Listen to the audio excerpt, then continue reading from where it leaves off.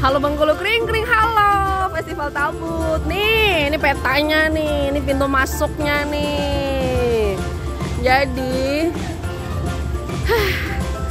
Acara tahunan yang luar biasa ini Kita awali masuk booth merchandise Nah di sana rasanya kalau mampir ke Festival Tabut itu rugi nian kalau tidak punya oleh-oleh yang berlogo-logokan Festival Tabut. Jadi ini kayak gitu.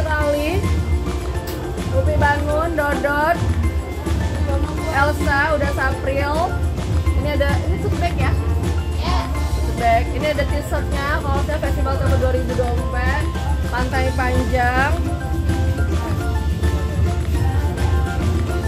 Kayaknya wajib ini punya ya. Tapi kita tanya dulu harganya sama kakaknya. Halo kakak, selamat sore. Ini kita lagi di booth merchandise. Merchandise Tabut 2000. Apa aja yang ditawarin di sini kak? Pertama kita ada kasetnya yang lucu-lucu kaos-kaosnya, ada banyak varian desainnya mulai dari harga 130 yang case-nya mulai dari harga 110 aja. Terus ada di tas, tasnya ada kanvas. Wih, Lucu ini banget motifnya ya. Iya, kualitasnya no kaleng-kaleng dan limited edition.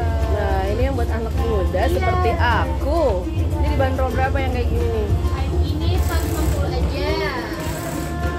Wajib, wajib punya, wajib punya. Wajib. Nah jadi di sana setelah ada di booth, bah, bolehlah berkelana ke mana aja silahkan. Iko baru malam pertama, pasti bakal seru nih.